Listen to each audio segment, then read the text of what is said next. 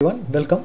In this video tutorial we are going to see how to create 3d maps in QGIS and followed up we will see how to overlay images vector vector layers and finally we are going to see how to export this image in 3d view.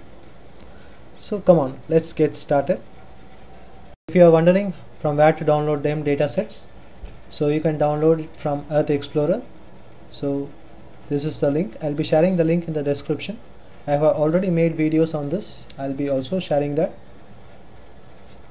And next is uh, NASA's Earth data. From here also you can get the elevation data SRTM so for this also I have made a video. I'll be putting this in description section. You can just check it out. And I'll be also sharing the DEM data which I am working. First let us add the elevation data set. Go to layer add layer add raster layer use this button to browse for the image. I'm using SRTM DEM data. Select open and add.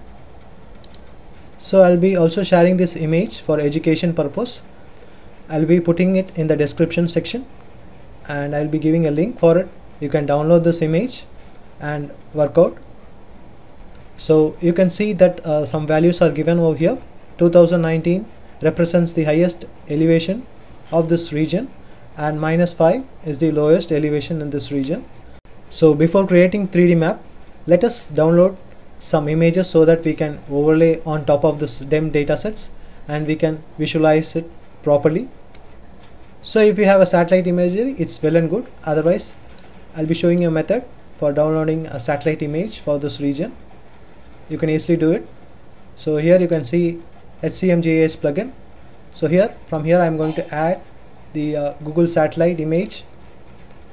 As you can see here I have added the Google satellite image right now. So I'm going to download this. Uh, you can easily do it by going to the option print new layout. So I'm going to give just a name click OK. Now you have to use this option add map and draw a box like this within minutes you can see the map has been rendered.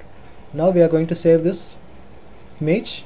So now let us set the CRS so I'm going to use the default WGS 1984 and after that you can see the option layout. And here you can find export as an image. So click on export as an image. Close this. And yeah. Here we need to select the file format. I'm going to use TIFF and click on save. Here you can choose the DPI so I need it uh, in a detailed manner. So I am going to set the DPI to 600 save. So within seconds the image has been downloaded as you can see here. So click on over here. You can find the maps map which we have saved. Just drag it and drop it over here let me minimize it and close the layout menu. Now let me remove the Google satellite that is base map which I have uh, brought in from the plugin base map plugin. So now you can see that the image has been successfully downloaded. And you can see that I have just overlaid the satellite image on top of this DEM so that we can have a good view of this of this region so you can overlay any image you can overlay landsat image uh, any any sort of images. So now let us go to the process of creating 3d map. So you can see at the top new 3d map view. Click on it and you can see this is the 3d map. One. Now yeah. We are going to set up the 3d view so click on configure and here select terrain and in type you can find flat terrain. So now please select DEM and here we are going to in the elevation section we are going to input the SRTM DEM or any DEM or elevation datasets which you have downloaded. And next is uh, vertical scale. So I am going to set the vertical scale to 4 it uh, visually enhances the terrain height. And now click on apply and click on OK now you can see here. Now use the following buttons. Use shift button and mouse left click. Just move on the cursor to the bottom and top like this. You can rotate it like this. You can rotate the image so if you are wondering whether it's not in 3d if I zoom in and show you how it is you can have a good look at it.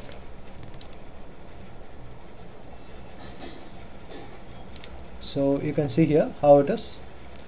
And you can see some patches over here white color patches. So in order to remove that once again go to the configure option. And here you can set the skirt height for example. Let me put it to 150 apply okay. Now let us see if there is any patches. So the image is uh, very clear. So like this you can create the 3d view. You can zoom in using scroll button. You can see how the terrain is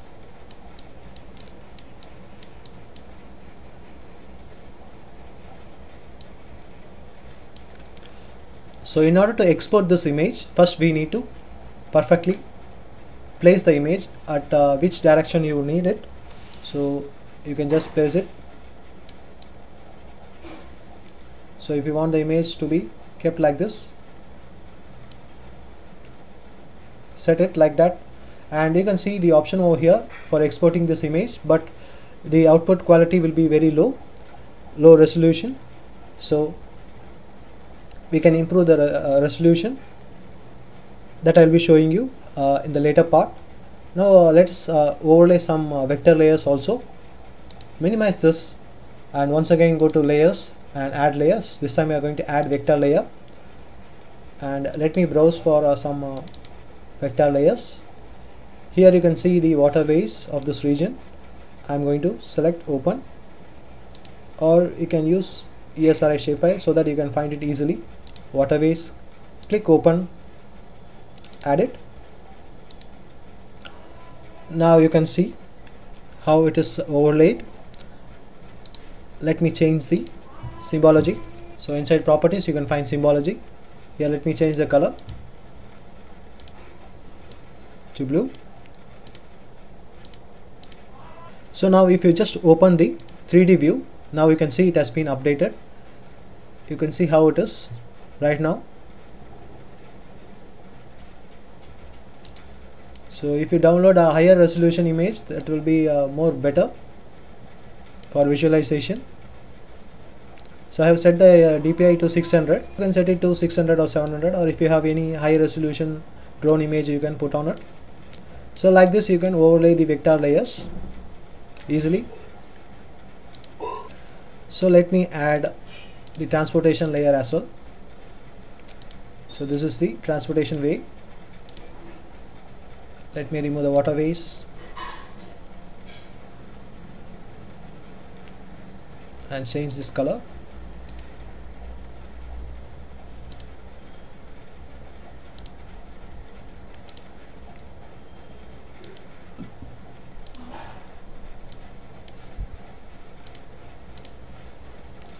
yeah fine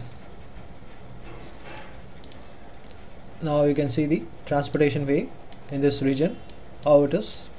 You can visualize it 3d in 3d